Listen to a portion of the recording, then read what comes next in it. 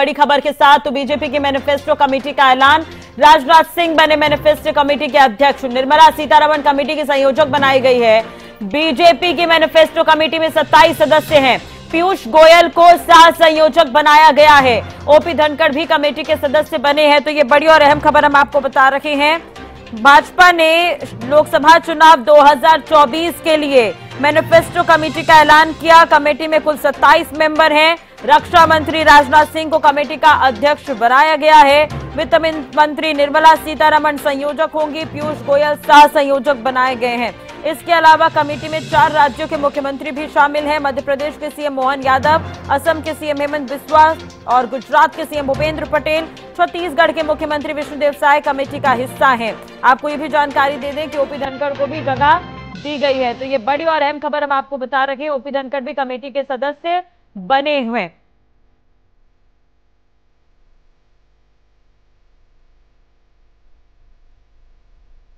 इसी खबर पर ज़्यादा जानकारी के लिए बात करेंगे। हरियाणा न्यूज़ के पॉलिटिकल एडिटर अमित तिवारी जी हमारे साथ जुड़ गए हैं। अमित जी, एक तरह से देखा जाए तो लोकसभा चुनाव के लिए बीजेपी ने अभी मैनिफेस्टो कमेटी का भी ऐलान कर दिया है। सत्ताईस सदस्यीय कमेटी है।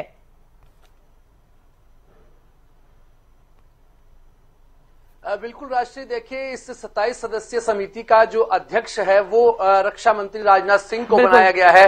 और तमिलनाडु से अगर बात करें तो निर्मला सीतारमण केंद्रीय वित्त मंत्री रही हैं और देखिए उनको इसका संयोजक बनाया गया और साथ साथ पीयूष गोयल को सह संयोजक बनाया गया है। और अगर पूरी समिति की बात करें तो देश भर से इसमें जो देश के अलग अलग राज्यों से इसमें प्रतिनिधि शामिल किए गए हैं। हरियाणा से ओपी धनखड़ राष्ट्रीय सचिव हैं। भारतीय जनता पार्टी के उन्हें भी सदस्य के रूप में शामिल किया गया है। और उत्तर प्रदेश से सर्वाधिक पाँच सदस्य इस समिति का हिस्सा बने हैं। और इसके अलावा चार राज्यों के मुख्यमंत्री जिनमें असम के मुख्यमंत्री हैं गुजरात के मुख्यमंत्री हैं छत्तीसगढ़ के और मध्य प्रदेश के मुख्यमंत्री भी इनमें इस मैनिफेस्टो समिति का हिस्सा बने हैं सदस्य के रूप में। और साथ साथ पूर्व मुख्यमंत्री वसुंधरा राजे और शिवराज चौहान का नाम लिया जाए तो वे भी इसका हिस्सा बने हैं। और एक और खास बात है इस मैनिफेस्टो समिति में राष्ट्रीय इसमें जो अभी अभी भारतीय जनता पार्टी में शामिल हुए हैं अनिल एंटोनी है देखिए ए के एंटोनी पूर्व हाँ। केंद्रीय मंत्री हैं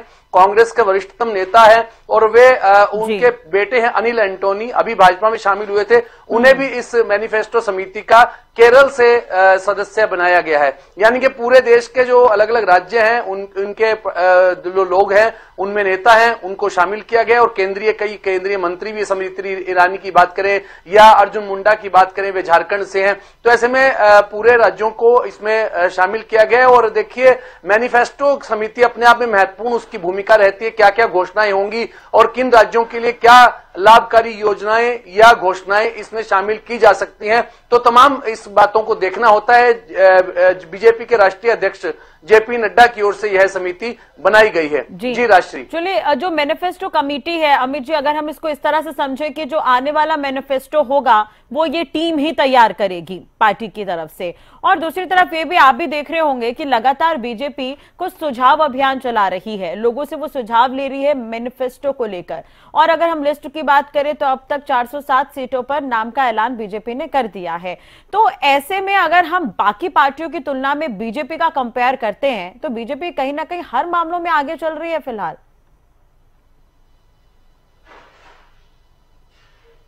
निश्चित रूप से राष्ट्रीय आपका कहना यह ठीक है कि हम्म। बीजेपी ने कई मामलों में बढ़त बनाई हुई है अपनी चुनावी समीकरणों के लिहाज से देखिए चुनावी उम्मीदवारों के ऐलान की दृष्टि से देखिए या हाँ। चुनावी मैनिफेस्टो समिति या कई घोषणाओं के लिए या कंपेन के रूप में हाँ। भी उन्होंने जो एडवर्टाइजमेंट है वो काफ़ी पहले ही जारी कर दिया था और जो कंपेन का एक सॉन्ग बनाया था थीम सॉन्ग बनाया गया था उसको भी काफ़ी पहले लॉन्च कर दिया था और सबसे बड़ी अहम बात यही है कि सीट शेयरिंग के फार्मूले पर पहले देखिए जो आई आईएनडीए ये गठबंधन के नेता आपस में तालमेल नहीं बैठा सके और साथ साथ कई राज्यों की घोषणा घटनाओं के मामले में भी। ऐसी ही स्थिति अभी भी उनके अंदर बनी हुई है।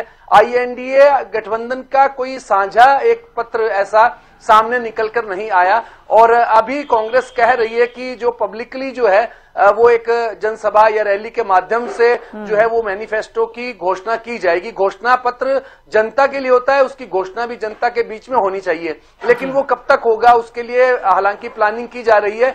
लेकिन जो भारतीय जनता पार्टी की बात की जाए तो जनता से जुड़ी हुई घोषणाएँ चुनाव घोषणा पत्र में शामिल रहती हैं। और ऐसे में एक अच्छा कदम इसे कहा जाएगा कि जनता से सुझाव लिए गए कि कौन कौन सी योजनाएँ उनके लिए लाभ करे, लाभकारी रहने वाली है और कौन सी ऐसी घोषणाएँ हैं जो उनके लिए आगे जो विकसित भारत का एक संकल्प लेकर चला जाए तो उसमें शामिल की जाए। तो ऐसे कई मामलों में देखा जाए तो निश्चित रूप से भारतीय जनता पार्टी ने अपने विरोधियों पर बढ़त हासिल कर रखी है कैंडिडेट की घोषणा के मामले में भी और अब चुनाव घोषणा पत्र समिति बनाई गई हालाँकि समितियाँ पहले भी बनी हुई हैं और और भी दलों की लेकिन अब तक कोई एजेंडा बाहर नहीं आया है तो ऐसे में हम्म। निश्चित रूप से कहा जाएगा कि सभी राज्यों को इसमें शामिल करके देखिए 27 सदस्य यह समिति और रक्षा मंत्री राजनाथ सिंह वरिष्ठतम नेता हैं भारतीय जनता पार्टी के उनकी अध्यक्षता में यह समिति बनी है तो निश्चित रूप से इसमें कई ऐसी घोषणाएँ भी नहीं मिलेंगी जो तमाम राज्यों पर और पूरे देश पर उसका असर रहने वाला होगा। राष्ट्रीय अभी अगर हरियाणा की बात भी करें हरियाणा से भी देखिए